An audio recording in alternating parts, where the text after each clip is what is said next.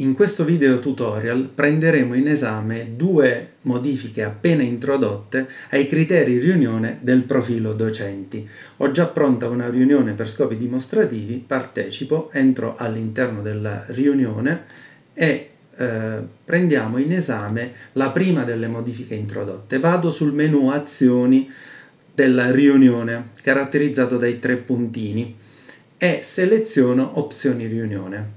Quello che noto subito è che la, eh, l'opzione chi può essere un relatore è automaticamente impostata su solo io. Solo io significa soltanto il creatore della riunione è automaticamente relatore. In precedenza questa opzione era per default impostata su tutti. Qual è la conseguenza di questa eh, modifica? Se seleziono la scheda partecipanti, vedo che all'interno della mia riunione sono già presenti due studenti. I due studenti entrano appunto come partecipanti, quindi non possono disattivare il microfono degli altri partecipanti, non possono mettere in evidenza il video dei compagni, non possono avviare una registrazione, tutte operazioni che da più parti sono state segnalate eh, nell'ultimo periodo come elementi di disturbo alla lezione. Quindi questa possibilità è automaticamente negata ai partecipanti.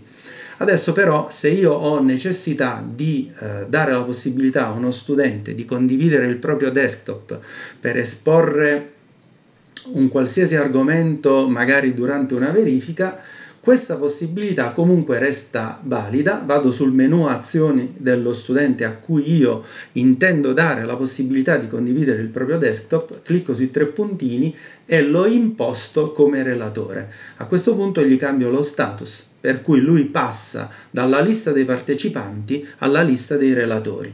In questo momento quello specifico studente può condividere il desktop, può prendere la parola, può eh, fare tutto quello che normalmente riesce a fare un relatore. Completata la presentazione da parte dello studente, ritorno sul menu contestuale e lo riporto allo status di partecipante cliccando imposta come partecipante. Gli cambio lo status e quindi lo studente passa dalla lista dei relatori alla lista dei partecipanti. Questo per quanto riguarda la prima modifica introdotta. Relativamente alla seconda modifica, se vado sul menu Altre azioni della scheda partecipanti, sono questi tre puntini a fianco al titolo partecipanti, trovo un'opzione che eh, in precedenza non era disponibile, ovvero sia scarica elenco partecipanti. Per vedere l'efficacia dell'elenco partecipanti simulo eh, l'uscita di uno studente dalla lezione, quindi lo studente prova in questo momento è uscito dalla lezione e simulo anche l'uscita eh, dello studente prova 2 dalla, dalla lezione, qualche secondo. Adesso lo studente prova 1 rientra, così come faccio rientrare anche lo studente prova 2.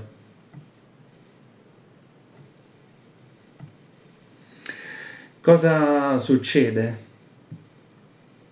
eh, al, all'elenco dei partecipanti? Questo elenco dei partecipanti fa una fotografia di tutto quello che è successo durante la riunione dall'istante in cui io, che sono l'organizzatore, mi sono collegato fino all'istante in cui lo vado a scaricare. Quindi faccio scarica elenco partecipanti qualche secondo per completare il download, questo file dove lo ritrovo? Lo ritrovo all'interno della cartella download del, suo, del mio sistema operativo. Il nome è, è, in inglese Meeting Attendance List, che significa esattamente elenco dei partecipanti alla riunione, ed è in formato uh, CSV. È un formato particolare, ma si tratta comunque di un file testo che io posso aprire con un qualsiasi editor testuale, ad esempio con, con il Notepad, oppure posso aprirlo con Excel. Di default questa tipologia di file viene abbinata eh, al, um, ad Excel se Excel è installato sulla propria macchina, ma se non dovessimo avere Excel si può aprire come, come abbiamo già visto con il Notepad o anche con Word al limite. Per cui io vedo tutte le attività eh, che sono state fatte dal, dal, singolo utente, nella prima colonna ho nome e cognome, nella seconda colonna ho l'azione che è stata compiuta, sono soltanto due le azioni che vengono tracciate, quindi non, non ci si può aspettare che venga...